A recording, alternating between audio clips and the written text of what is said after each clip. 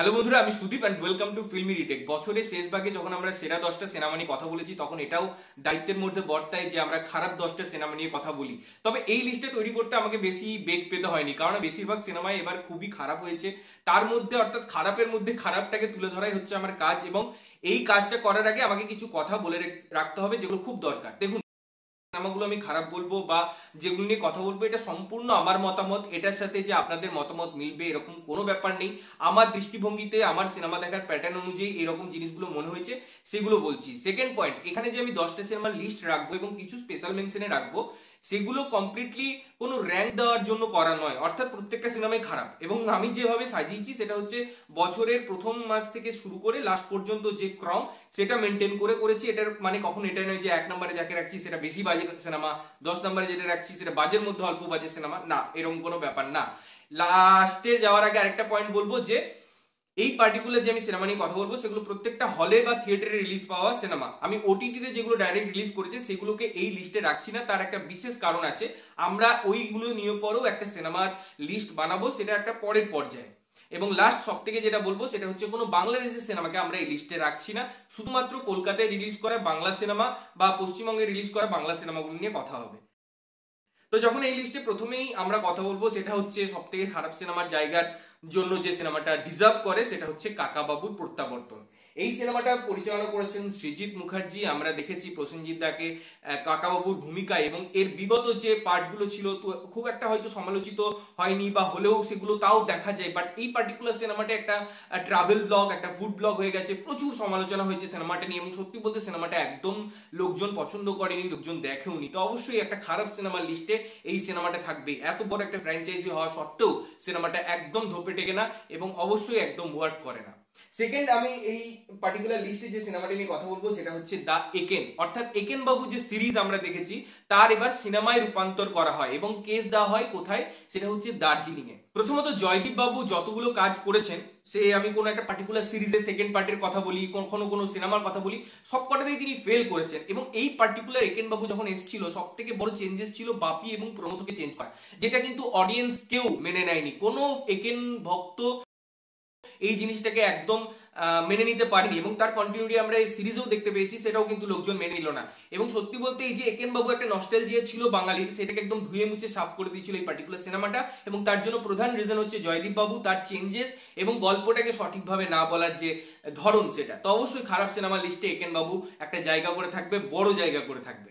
এরপরে তিন নম্বরে আমরা যে সিনেমাটি নিয়ে কথা বলব, সেটার নাম হচ্ছে তীরন্দাজ সবর। অরিন্দম সিলের পরিচালনা করেছিলেন এবং সবর সিরিজের সব থেকে দুর্বলতম সিনেমা সব থেকে খাজা কাজ বলে আমার মনে হয়েছে। এবং যখন আমি বাকি সিনেমাগুলোর যে কম্পেয়ার করছিলাম যে কোন সিনেমাটাকে খারাপ রাখব, সেই জায়গায় এই সিনেমাটা বেশি খারাপের নাম্বার পেয়ে উঠে এসছে। কারণ আমি প্রত্যেকটা নাম্বার দিয়ে দিয়ে বিভিন্ন ডিপার্টমেন্ট অনুযায়ী এটা করেছি একবার। হঠাৎ করে মনে হয়নি ঘুম থেকে উঠে যে এই সিনেমাগুলোকে রাখতে হবে।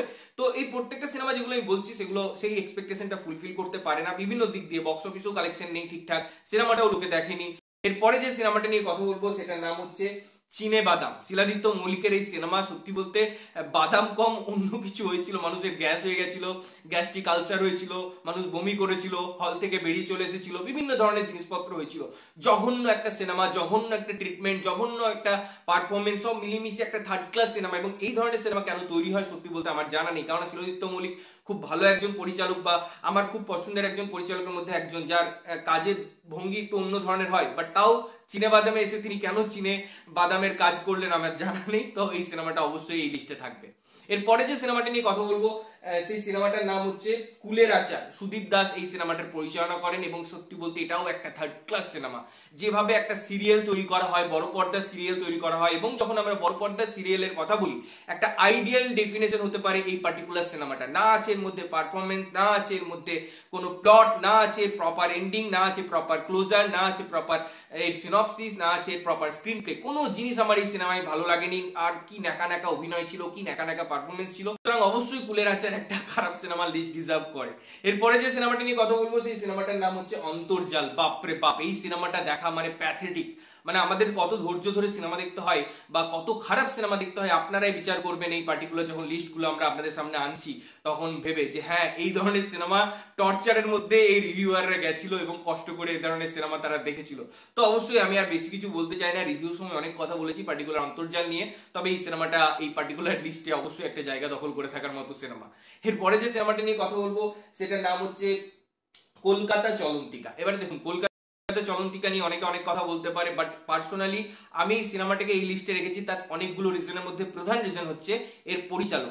দার প্রিভিয়াস যদি আমি কাজ দেখি, যে গ্রাফ দেখি, সেটা বাবার নাম গান্ধীজি হোক, রসগোল্লা হোক, বা তিনি যে কাজগুলো করছেন সেই জায়গা থেকে, লোকের একটা গ্রাফ উপর দিকে গেলেও সবসময় যে সব সিনেমা ভালো হবে তার কোনো মানে নেই। কিন্তু একটা না, এমন জিনিস হয় যে গ্রাফগুলোর মধ্যে মেনটেন করার ব্যাপার থাকে। একটা গ্রাফ হঠাৎ করে উঠতে উঠতে ধরাস করে নেমেছে কলকাতা চলন্তিকায় এতগুলো ক্যারেক্টার এত এত প্রমিসেস আমাদের কাছে তুলে ধরা হয়েছে, কোনোটাই জাস্টিফাই করা হয়নি।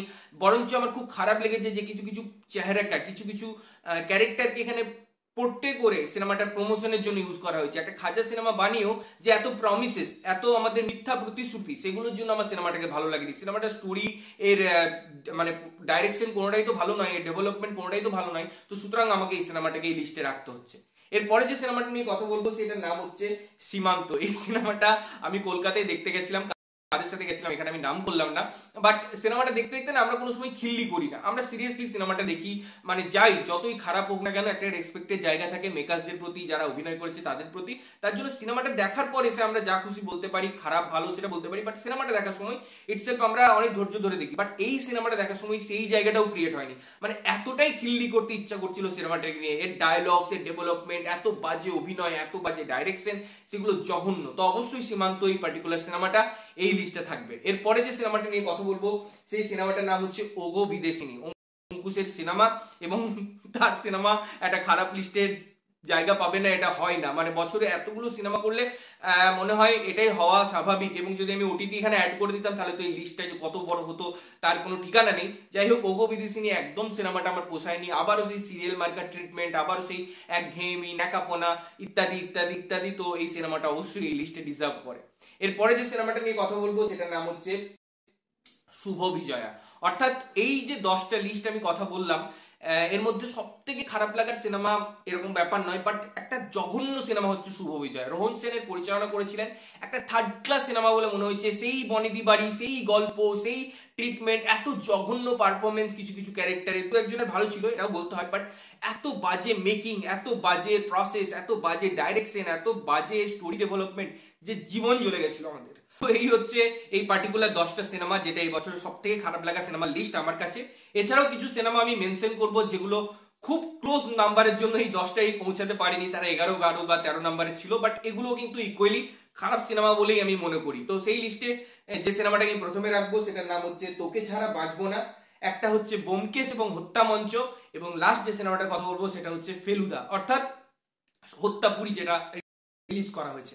তো দেখুন বোমকেশ সবর, ফেলুদা একেম এই বড় বড় ব্র্যান্ড প্রত্যেকটাই কিন্তু এবারের খারাপ সিনেমা লিস্টে যাচ্ছে। সুতরাং বুঝতেই পারছেন যে ভালো মেটেরিয়াল থাকলেই হলো না আমাদের কাছে, ভালো গল্প থাকলেই হলো না আমাদের কাছে, সেটাকে এক্সিকিউট করতে হবে। সেটাকে প্রপার ম্যানারে অডিয়েন্সের কাছে পৌঁছে দিতে হবে। অডিয়েন্সকে বোকা ভাবাটা বন্ধ করতে হবে, কারণ অডিয়েন্সরা প্রচণ্ড ইন্টেলিজেন্ট প্রচণ্ড সিনেমা দেখে, তারা প্রচণ্ড ভালো সিনেমা দেখে। সুতরাং মেকিংটা দরকার, এবং এই লিস্টটা ফিউচারে তারা যারা মেকার্স দেখছেন বা দেখছেন না, আমি জানি না। যদি দেখেন তো তারা কীভাবে নেবেন পজিটিভলি নেবেন না, এটাকে নিয়ে পরে আরও অন্য কিছু ভাববেন, সেটা তাদের ব্যাপার। বাট আমাদের কাজ সত্যি কথা বলা, মুখের উপর বলা, তো সেটা আমরা করলাম। তোমরা যদি সহমত পোষণ করো বা কোন সিনেমাটা তোমরা মনে করো আরও ডিজার্ভ করে এই পার্টিকুলার লিস্টে আমাকে অবশ্যই কমেন্ট করে জানিও, ততক্ষণের জন্য ভালো থাকবে, সুস্থ থাকবে এবং সবসময় ভালো জিনিস দেখবে। চ্যানেল যদি প্রথমবার দেখছ লাইক কমেন্ট শেয়ার করতে হবে। সাবস্ক্রাইব করতে হবে যাতে প্রত্যেকটা নোটিফিকেশন তোমাদের কাছে পৌঁছায়। ততক্ষণের জন্য। টাটা।